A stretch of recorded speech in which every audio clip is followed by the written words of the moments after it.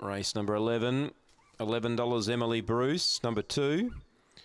Green lights activated. Favourite, the inside. Sutton Ranger. They're set. Ready. Racing, jump well, Sutton Ranger, no speed, Vega Black, and Sutton Ranger will lead for fun early. Nugget McLaren over to second.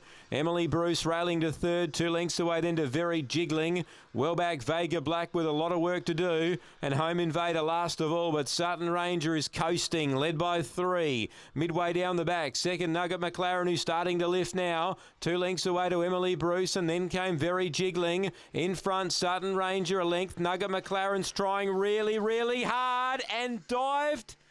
Might have got up. Stand by. Nugget McLaren, the outside here of Sutton Ranger. Won't be much in this. Vega Black came screaming home to get third.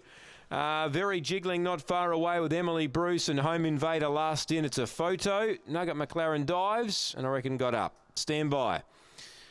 Stand by here. Times 30 and 90 odd. Nugget McLaren on the outside, I reckon we'll get this. Stand by. 30 and 93. Five gets it. Five the winner. Nugget McLaren. Nugget McLaren for Tanya Foster. Digs deep late and pegs back the favourite Sutton Ranger. It's a good win. 30 and 93.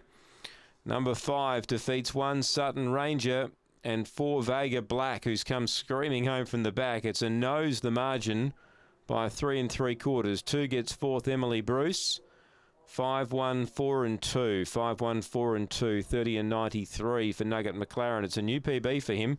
It's the best run we've seen him do in his short career. He was a winner three starts ago, but uh, that's a that's a much better run by him tonight than what his last two have been. Five, one, four, and two after race number 11, and uh, the winner at a good price too, around $15 on the U tab. Race 12, one to come. It's due in 16 from now.